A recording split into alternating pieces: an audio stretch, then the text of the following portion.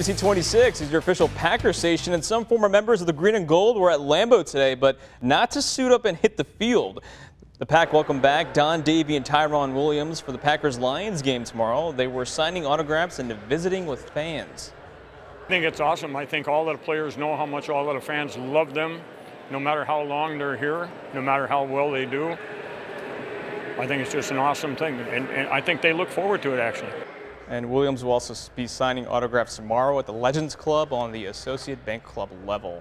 Also, former Packers wide receiver Antonio Freeman playing tour guide today as part of the Lambeau Field Alumni Tours. On the top of checking out the stadium, people got to hear stories and get insights from an actual former player. Some fans say seeing Freeman does bring back flashbacks.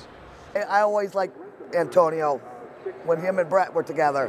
Why, why'd you like him? What'd you like about him? That, that they were they were a team.